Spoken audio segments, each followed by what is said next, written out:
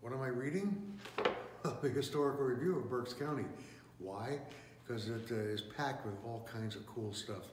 The next issue uh, includes a, a great story on the Shillington Speedway, which wasn't maybe what you think of as Speedway, zoom, zoom, zoom. It was a horse track in Shillington.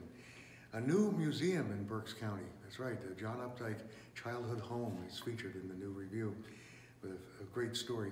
If anybody ever did research at our library here, you may have used the Boyd's directories. You may not have known about the Boyd family. It will surprise you when you read the historical review.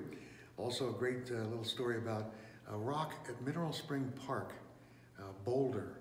When you see it, it's not quite a boulder. You'll find out why it's there in a story in the next review. Also, a story about human flies coming to Reading. These are guys who crawled up the sides of buildings with nothing other than suction cups and gloves. Amazing story. So please become a member of the Berks History Center. You get this quarterly. So I guess that tra translates almost 200 pages of sort of a local history book every year from the Historical Review of Berks County.